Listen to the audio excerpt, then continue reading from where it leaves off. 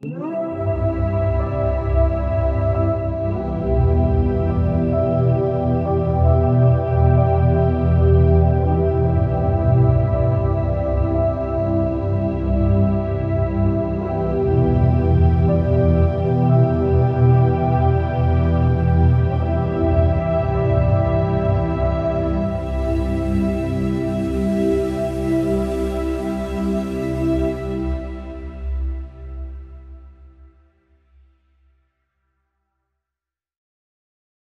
The Holy Gospel according to St. John, the 20th chapter. Glory to you, O Lord. Early on the first day of the week, while it was still dark, Mary Magdalene came to the tomb and saw that the stone had been removed from the tomb. So she ran and went to Simon Peter and the other disciple, the one whom Jesus loved, and said to them, they have taken the Lord out of the tomb, and we do not know where they have laid him. Then Peter and the other disciple set out and went toward the tomb. The two were running together, but the other disciple outran Peter and reached the tomb first. He bent down to look in and saw the linen wrappings lying there, but he did not go in. Then Simon Peter came following him and went into the tomb. He saw the linen, uh, he saw the linen wrappings lying there, and the cloth that had been on Jesus' head, not lying with the linen wrappings, but rolled up in a place by itself. Then the other disciple, who reached the tomb first, also went in, and he sat, saw, and believed. For as yet they did not understand the scripture that he must rise from the dead. Then the disciples returned to their homes. But Mary stood weeping outside the tomb.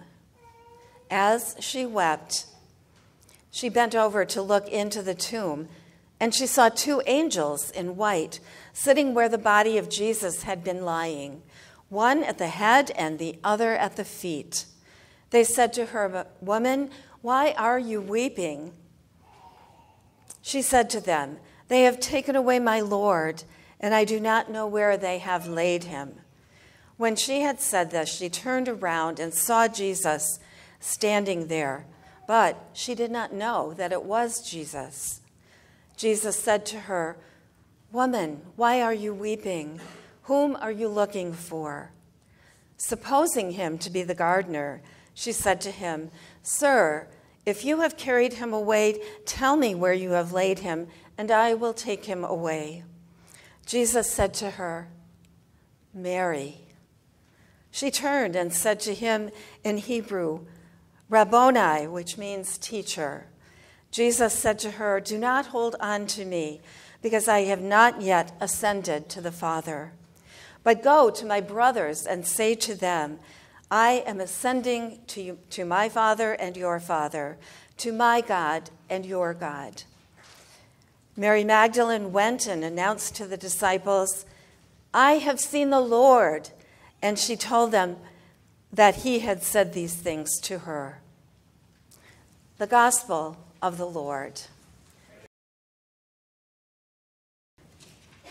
May the words of my mouth and the meditation of our hearts be acceptable in your sight, O Lord, our rock and our Redeemer. Amen. Well, the traditional gospel reading for Easter Sunday is John 20, which is what uh, you just heard a few minutes ago, where Mary Magdalene comes to the tomb early on the first day of the week while it's still dark. You know that story. Mary comes to the tomb and finds that the stone has been rolled away, and she runs back to tell the disciples. They have taken the Lord out of the tomb, and I, we do not know where they have laid him, she says. Peter and the other disciple, the one whom Jesus loved, came rushing to the tomb. The other disciple gets there first. We don't know his name exactly. And he looks inside, but he doesn't go in. Peter as impulsive as ever, goes into the tomb and he looks in uh, and he sees the linen wrappings lying there, empty. And the cloth that had been around Jesus' head was rolled up and lying in a place by itself in that tomb. Then the other disciple comes into, this, into the tomb and sees what Peter sees, but unlike Peter, he believes. That is, he believes that Jesus has risen and not that his body has been stolen. And this is even before they understood the scripture had said that Jesus was supposed to rise from the dead. Maybe that's why Jesus loved that guy so much.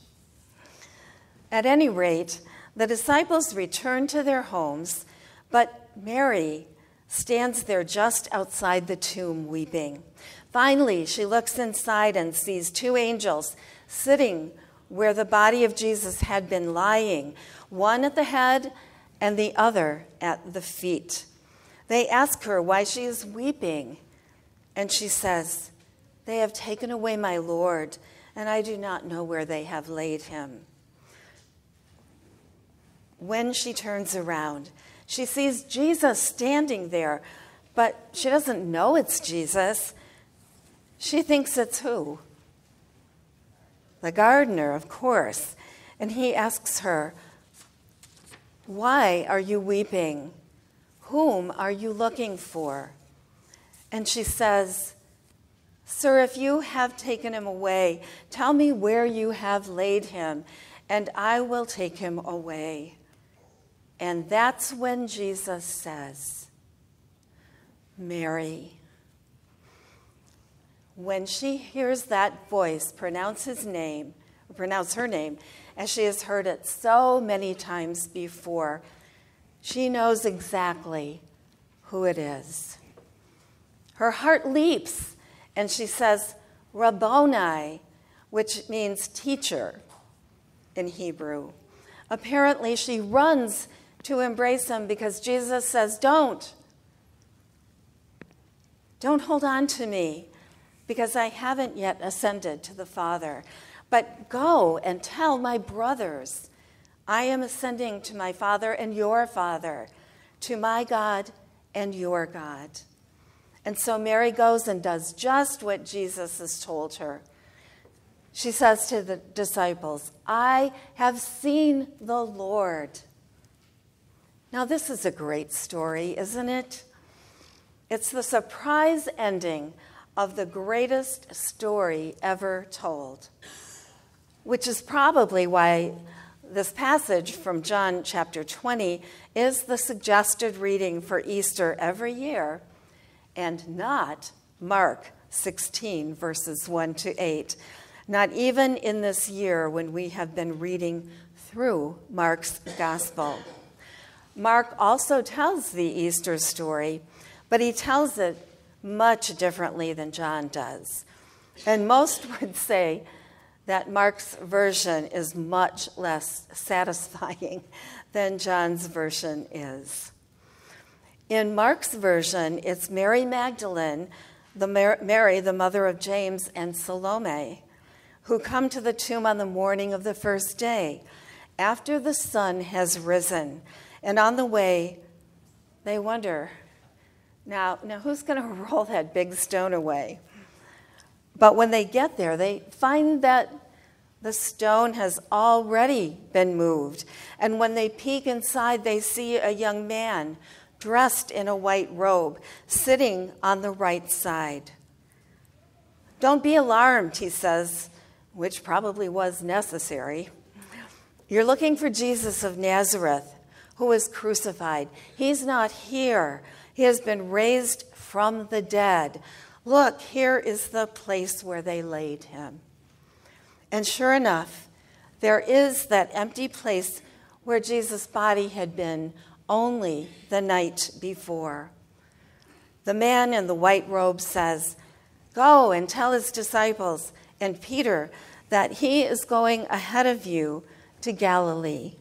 There you will see him just as he told you.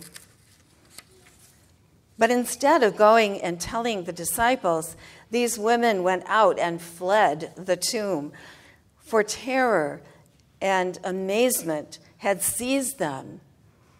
And they said nothing to anyone, for they were afraid.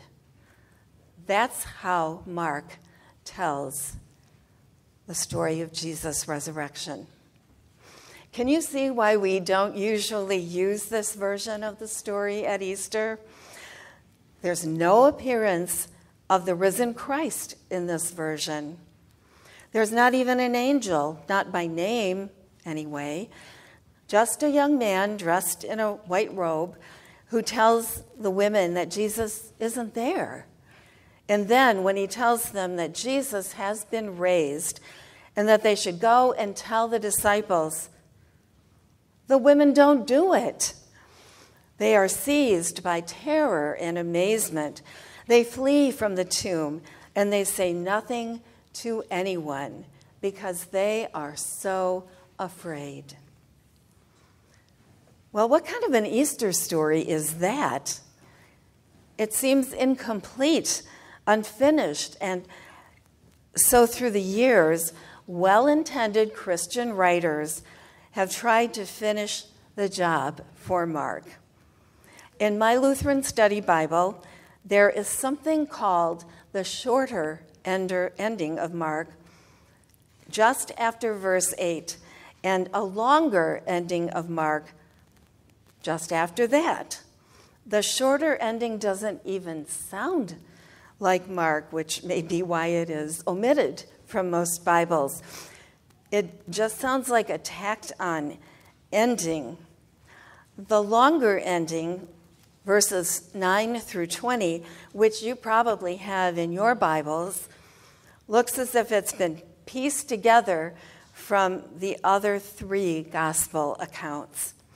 There's a section, for example, in which Mary Magdalene goes and tells the other disciples who are mourning and weeping that Jesus is alive just as we did a little bit earlier. There's a section at the end of Mark's gospel in which Jesus appears, or in Luke's gospel, in which Jesus appears to two disciples who are walking in the country, much as he does on the road to Emmaus in the Gospel of Luke. And there's a section in which he tells his disciples to go into all the world and proclaim the good news, which sounds very much like the Great Commission from Matthew's Gospel. And then there's a very weird section in which he says something about picking up serpents and drinking poison. That doesn't sound like anything in any of the Gospels at all. It doesn't even sound like Jesus. The footnote in my Bible says that although this longer ending of Mark has been around since the late second century, it's missing from the earliest, most reliable Greek manuscripts. In other words, some of those well meaning Christian writers have tried to finish Mark's gospel for him because the way he left it seemed incomplete. But biblical scholars agree that this is the way Mark left it, right there at verse 8. They believe it was Mark's intent to end his gospel with the women fleeing from the tomb, seized by terror and amazement, and saying nothing to anyone because they were so terrified. And the question is why? Why would Mark end his gospel this way? Well, there's a theory, and it goes something like this. According to reliable sources, it was the composer Franz Liszt whose clever wife used to get him out of bed in the morning by playing the first seven notes of a scale on the downstairs piano. And you know what that sounds like Do, re, mi, fa, sol, la, ti. So she would just play those seven notes. And then she would go back to the kitchen and finish cooking breakfast for her composer husband, Franz. Now, poor Franz would try to ignore this, but finally he would have to give up, throw on his robe, stumble down the stairs, and play that last note. Do. But at least by that time his breakfast would be ready. And he wasn't going to go back to bed at that point. You know, I think there's something in all of us, not, not just composers, but something in all of us that craves resolution, completion, something just doesn't want to let us leave something unfinished. And if you don't believe that, we're going to go back to that first hymn that we sang this morning, but we're going to leave off the last note. So let's, let's try it again. I think we can do this a cappella. Christ the Lord is risen today. Alleluia. Uh-uh. You did it. Did you see, though, how you have to just put that final note on it, how you have to resolve the tension in some way? And I think maybe that that's what Mark was doing. I think he was telling the story of Easter with the ending left off. So that just like Franz Liszt, his readers and hearers would have to tumble out of bed on Easter morning and finish it. If these women wouldn't tell anyone Christ had risen, then somebody would have to do it. And that somebody, Mark might say with a, a wink and a nod, is us. This is especially interesting when you compare the ending of Mark with other parts of his gospel, in which Jesus often warns people not to tell anyone who he is or what he has done. In chapter 1 of the Gospel of Mark, he cleanses a leper and then, after sternly warning him, he sent him away at once, saying to him, Say that you say nothing to no one in chapter 5, after raising Jairus' daughter from the dead, he strictly ordered her parents that no one should know this, he says in chapter 5. In chapter 7, he heals a man who cannot speak or hear, and afterwards he orders the crowd to tell no one in chapter 7.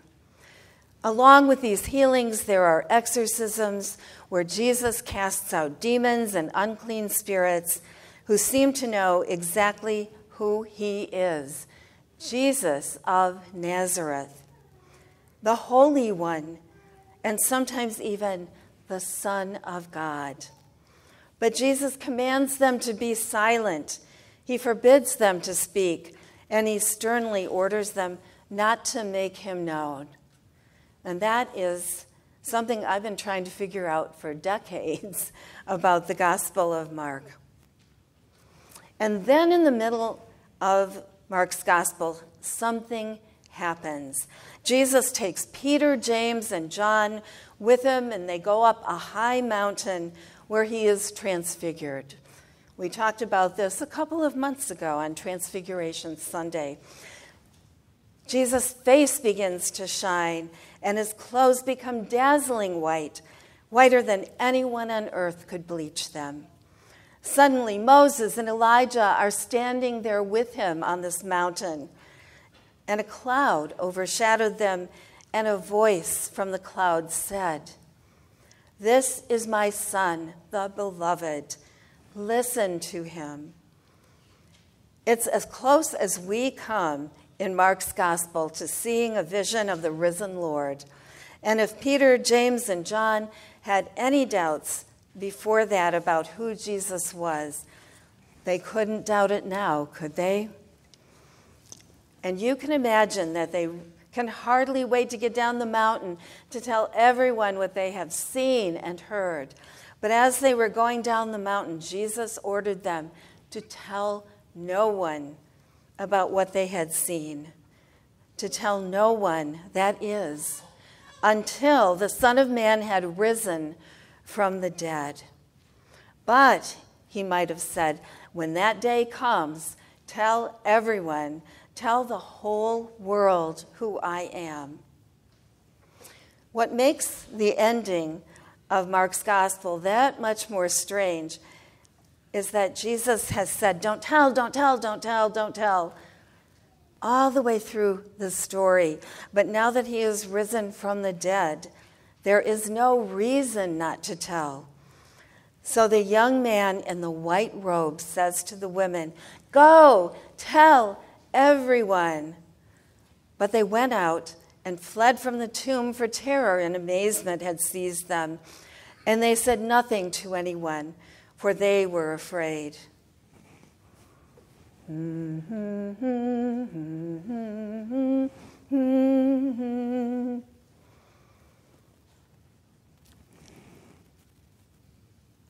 When Jesus told the leper not to tell anyone that he had been cleansed, the leper went out and proclaimed it freely, spreading the word so effectively that Jesus could no longer go into town openly, but had to stay out in the country. When he healed that man who couldn't hear or speak, he told the crowd to keep quiet.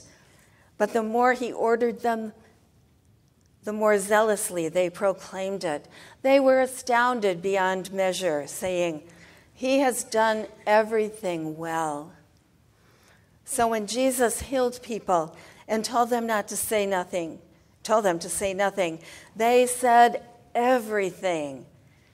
But when these women were asked to tell everyone that he had risen, they didn't tell anyone because they were afraid which means you probably saw this coming that if this story is ever going to be resolved, if it's ever going to have a happy ending, it will be up to us. So, one more time, sing it with me. Jesus Christ is risen day. Hallelujah.